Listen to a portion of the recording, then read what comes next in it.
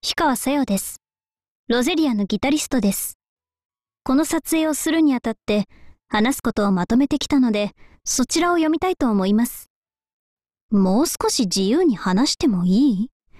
そう言われても、ギターは好きか？ええ、そうかもしれないですね。今はロゼリアのギタリストとしての音を探求しています。ロゼリアらしく、私らしくもある音。それがどんなものなのか探していければと。以上、こんなところでいいかしら。好きなものについて？それはバンドには関係ないでしょ以上で終わりです。今井さん、先ほどのところはカットしてください。いいわね。